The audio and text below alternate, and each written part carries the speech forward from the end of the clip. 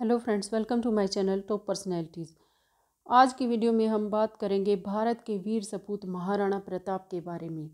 महाराणा प्रताप मेवाड़ में सिसोदिया राजपूत वंश के एक महान योद्धा और राजा थे। उन्होंने कई वर्षों तक मुगल सम्राट अकबर के साथ संघर्ष किया।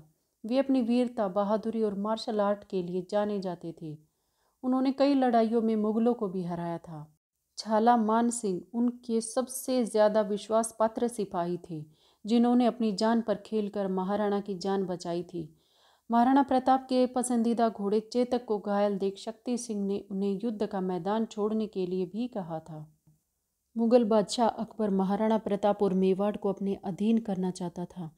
इसके लिए उन्होंने बहुत सारे राजदूत भी नियुक्त कर दिए थे। जलाल खान, मान सिंह, भगवान दास और राजा टोडरमल। लेकिन इन चारों को मनाने के बाद भी महाराणा प्रताप ने अकबर के अधीन रहना स्वीकार नहीं किया। महाराणा प्रताप का जन्म 9 मई 1540 को मेवाड़ राजस्थान में हुआ था। महाराणा प्रताप का पूरा नाम महाराणा प्रताप सिंह सिसोदिया था। महाराणा प्रताप के बचपन का नाम कीका था। उनके पिता का नाम राणा उदय सिंह था। महाराणा प्रताप सात फीट पाँच इंच लंबे कद के वीर थे और उनका वज़न 110 किलो का था। उनमें वह सभी शारीरिक क्षमताएँ थी जो एक महान और वीर सैनिक में होनी चाहिए। महाराणा प्रताप के भाले का वज़न इक्यासी किलो था, जो एक ही बार में दुश्मन को मार डालता था। उनके सीने के कवच का वज़न बहत्तर किलो था। महाराणा प्रताप भाला, ढाल, दो तलवारें और कवच लेकर युद्ध में जाते थे, जिनका कुल वज़न 208 किलो का था। आज के पुरुषों के लिए इस तरह के भार से लड़ना संभव ही नहीं है। शायद यह तथ्य आपको बहुत ही रोचक और आश्चर्यजनक लग सकता है कि महाराणा प्रताप ने राजनीतिक कारणों से ग्यारह शादियाँ की। महाराणा प्रताप की तलवार, कवच और अन्य साजो सामान उदयपुर के राज्य संग्रहालय में आज भी सुरक्षित रखे गए हैं। महान सम्राट अकबर भी महाराणा प्रताप की वीरता से बहुत प्रभावित थे। उन्होंने महाराणा प्रताप को प्रस्ताव दिया कि यदि वह उनके सामने झुके तो आधा भारत महाराणा प्रताप का हो जाएगा। लेकिन उन्होंने इस प्रस्ताव को ठुकरा दिया और महाराणा प्रताप ने कहा कि वह मरते दम तक मुगलों के सामने कभी नहीं झुकेंगे और कभी भी अपना सिर उनके सामने नहीं झुकने देंगे। महाराणा प्रताप का घोड़ा चेतक भी बहुत लोकप्रिय है। उनकी कई कहानियाँ सुनने को मिलती हैं। चेतक एक बहुत ही शक्तिशाली घोड़ा था और दौड़ते समय उसकी गति बहुत तेज हो जाती थी। एक बार युद्ध में चेतक ने अपना पैर एक हाथी के सिर पर रख दिया और घायल महाराणा प्रताप को लेकर वह छब्बीस फीट लंबे नाले के ऊपर से कूद गया। चेतक घोड़े ने हर युद्ध में महाराणा प्रताप का साथ दिया। मायरा की गुफा में महाराणा प्रताप ने कई दिनों तक घास की रोटियाँ खाकर समय बिताया। हल्दी घाटी में महाराणा प्रताप और बादशाह अकबर के बीच भीषण युद्ध हुआ। इस युद्ध को 300 साल हो चुके हैं, लेकिन वहाँ पर युद्ध की निशानियाँ आज भी मौजूद हैं। हल्दी घाटी की लड़ाई न तो अकबर ने और न ही महाराणा प्रताप ने जीती। सम्राट अकबर ने तीस साल तक महाराणा प्रताप को पकड़ने की कोशिश की, लेकिन वो कभी सफल नहीं हुई उनतीस जनवरी पंद्रह को महाराणा प्रताप की मृत्यु हो गई। शिकार के दौरान उनकी दुर्घटना हो गई थी। जब अकबर को महाराणा प्रताप की मृत्यु का पता चला तो वो भी रो पड़ा था। हल्दी घाटी के युद्ध में महाराणा प्रताप की सेना में हकीम खान सूरी एकमात्र मुस्लिम सरदार था। हल्दी घाटी का युद्ध 18 जून पंद्रह ईस्वी में लड़ा गया था। इस युद्ध में सम्राट अकबर के पास पचासी हज़ार सैनिक थे, जबकि महाराणा प्रताप के पास केवल बीस हज़ार सैनिक थे। इसके बावजूद महाराणा प्रताप अकबर से लड़ते रहे और कभी पीछे नहीं हटे। महाराणा प्रताप के सत्रह बेटे और पाँच बेटियाँ थीं। महाराणा प्रताप युद्ध में दो तलवारें रखते थे। अगर उनके शत्रु के पास तलवार ना हो तो वो उसे अपनी एक तलवार दे देते कि युद्ध बराबर हो जाए। इससे पता चलता है कि महाराणा प्रताप एक न्यायप्रिय राजा थे।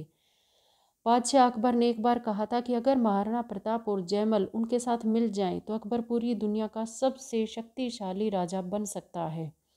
अकबर अपने सपने में महाराणा प्रताप को देखा करते थे। महाराणा प्रताप की तरह उनके सेनापति और उनके सैनिक भी बहुत बहादुर थे। उसका एक सेनापति युद्ध में सिर कट जाने के बाद भी लड़ता रहा। महाराणा प्रताप को भारत का पहला स्वतंत्र सेनानी भी कहा जाता है। सम्राट अकबर से मुकाबला करने के लिए महाराणा प्रताप ने अपना महल छोड़ दिया और दिन रात युद्ध की तैयारी करने लगे।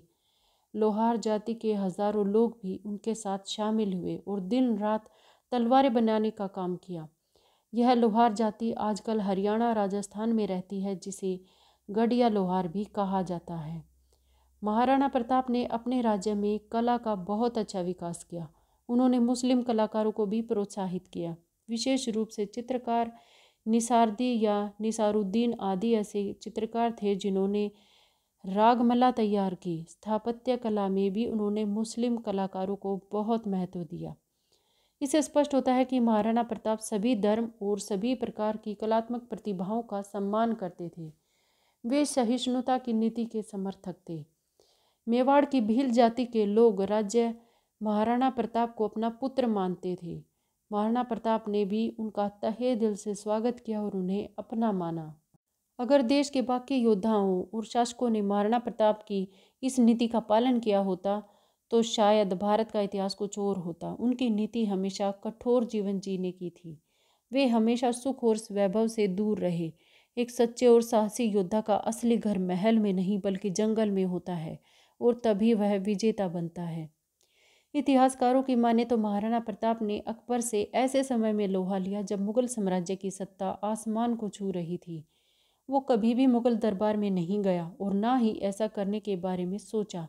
जहाँ शिवाजी जैसे कोई योद्धा मुगलों के खिलाफ लड़े, वहीं वे एक बार औरंगज़ेब के दरबार में आए थे। औरंगज़ेब के समय में मुगल साम्राज्य भी कमज़ोर पड़ने लगा था। अकबर ने अपने दो दूत महाराणा प्रताप के पास भेजे, एक बार सिंह और दूसरा टोडरमल। लेकिन महाराणा प्रताप न तो इन दोनों की बात पर पहुँचे और न ही अकबर की सैन्य धमकी से डरे। उसने किसी को नहीं धमकाया और अपनी प्रजा के हर वर्ग को अपने साथ लगाया। और अकबर के सामने लड़ता रहा और अजेय रहा। महाराणा प्रताप का आम सिपाही से लेकर चेतक तक सभी में एक जैसा स्नेह था। युद्ध के मैदान में जब महाराणा प्रताप को शत्रु सैनिकों ने घेर लिया तो चेतक ने जान पर खेलकर उन्हें बचा लिया। जब महाराणा प्रताप हल्दी घाटी से सकुशल बाहर आए तो हकीम खान, सूरी, नेतसी, रामशाह रामशाह के पुत्र शंकरदास और झालामान आदि ने अपने प्राणों की आहुति दे दी। हकीम खान ने इतना संघर्ष किया कि उसकी तलवार उसके हाथ में रह गई।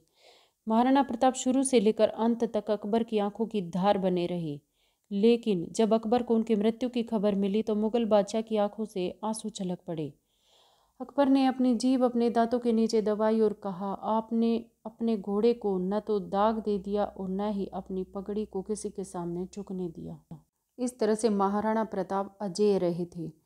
जब अब्राहम लिंकन भारत आए थे, फिर उनकी माँ ने उनसे पूछा, था कि तुम भारत से अपने लिए क्या लाए हो? तो अब्राहम लिंकन ने अपनी माँ को जवाब दिया कि, उस महान देश की वीर भूमि हल्दी घाटी से एक मुट्ठी धूल लेकर आया हूँ, जहाँ राजा अपनी प्रजा के प्रति इतना वफादार था कि उसने आधे भारत के बजाय अपनी मातृभूमि को चुना। लेकिन दुर्भाग्य से उनका दौरा वहाँ का रद्द कर दिया गया था। इसे आप बुक ऑफ़ प्रेसिडेंट यूएसए पुस्तक में भी पढ़ सकते हैं। यहाँ महाराणा प्रताप जी के घोड़े चेतक का भी मंदिर है, जो आज भी हल्दी घाटी में सुरक्षित है। महाराणा प्रताप का घोड़ा चेतक भी बहुत शक्तिशाली था। उसके चेहरे के सामने एक हाथी की सूंड का इस्तेमाल दुश्मन के हाथियों को भ्रमित करने के लिए किया जाता था। ये हेतक और चेतक नाम के दो घोड़े थे। मरने से पहले महाराणा प्रताप जी ने अपने खोए हुए मेवाड़ के पचासी प्रतिशत हिस्से को फिर से जीत लिया था। सोना, चांदी और महलों को छोड़कर वो बीस साल तक मेवाड़ के जंगलों में घूमते रहे। महाराणा प्रताप जी का वज़न 110 किलो था और वो सात फिट पाँच इंच लंबे थे। उनके हाथ में दो मयान वाली तलवार और 80 किलो का भाला होता था। मेवाड़ के आदिवासी भील समुदाय ने हल्दी घाटी में अपने बाणों की बौछार से अकबर की सेना को रोंद डाला था। वे महाराणा प्रताप जी को अपने पुत्र के समान मानते थे और बिना किसी भेदभाव के उनके साथ रहते थे। मेवाड़ के प्रतीक चिन्ह के एक ओर आज भी राजपूत और दूसरी ओर भील छिपा हुआ है। महाराणा प्रताप जी घोड़े सहित दुश्मन के सिपाही को एक झटके में ही काट डालते थे। तो फ्रेंड्स, आज की वीडियो में इतना ही। मिलते हैं अगली वीडियो में एक नई पर्सनैलिटी के साथ तब तक के लिए खुश रहें, मस्त रहें। Thanks to all thanks for watching अगर वीडियोज़ अच्छी लगें तो प्लीज़ चैनल को सब्सक्राइब करना ना भूलें। Thank you